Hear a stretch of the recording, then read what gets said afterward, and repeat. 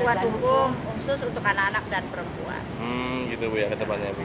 Ya, sel- selama ya, ini kan eh, iya. bantuan hukum sendiri gimana Bu kalau melihat uh, situasi yang sekarang ini Bu? Iya, kami cukup prihatin. Iya. Pasti kami tetap akan membela sepanjang mereka memang minta bantuan kami.